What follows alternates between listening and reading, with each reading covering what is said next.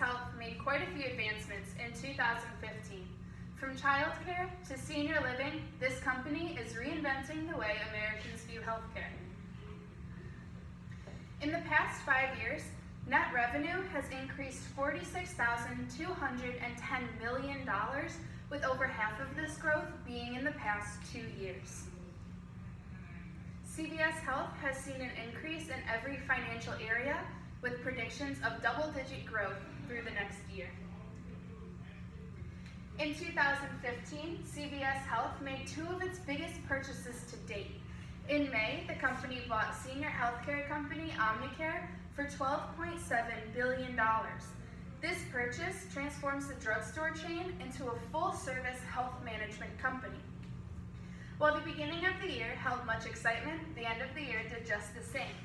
On December 16, 2015, CVS Corporation and Target Corporation announced CVS Health's full acquisition of Target Pharmacy and clinical businesses for $1.9 billion. This merge gives CVS 1,672 pharmacies across 47 states. CVS Pharmacy will be included in all new Target stores that offer pharmaceutical care, and 79 Target clinics will be rebranded as Minute Clinics. In the next three years, CVS Health plans to open 20 new clinics through Target stores. CVS Health also plans to expand Minute Clinic by opening 1,500 new clinics by the end of 2017. In that time, half of all Americans will have a Minute Clinic within 10 miles of their home. As the health industry continues to grow rapidly and people begin to care more about their health, CVS Health is going to be doing nothing but dominating this market. CVS is growing to become a more health-oriented chain. They demonstrated this by removing all tobacco products from their shelves in 2014. There are a few threats on the radar for CVS Health, but the removal of these tobacco products took its toll as year, in-store sales growth grew very weak.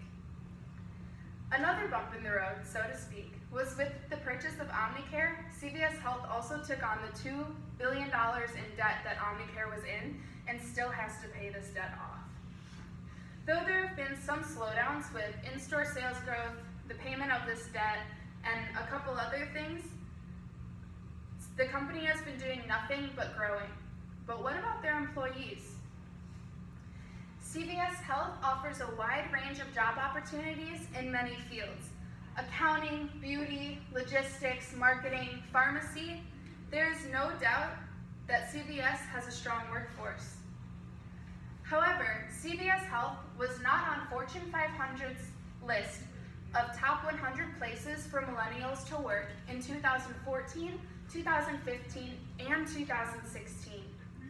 The LA Times wrote an article stating that the top workers at CVS stores, those being paid the most for their job classifications, are being redlined by the company, making it impossible for these employees to earn raises. However, in corporate jobs such as senior managers, there seem to be no pay caps, so those managers aren't facing the same uh, difficulties that in-store managers are. There doesn't seem to be much room for growth through this company. CVS Health was also ranked 12th on 24-7's Wall Street's list of top 12 worst companies to work for in the US. This list took rankings using data career website Glassdoor that has rankings of more than 400,000 companies globally.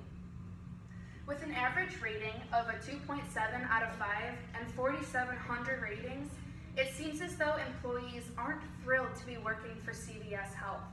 And out of those 4,700 ratings, 40% of those employees said that they did not approve of CVS CEO Larry Merlo. There were complaints of stores being understaffed, employees being overworked, and managers having an unrealistic expectation of their employees.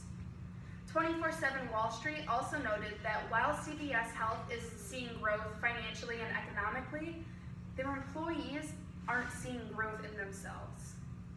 CVS has denied that their company has no room for growth and that their employees are upset. Instead, they are stating that they provide a safe and enjoyable work environment.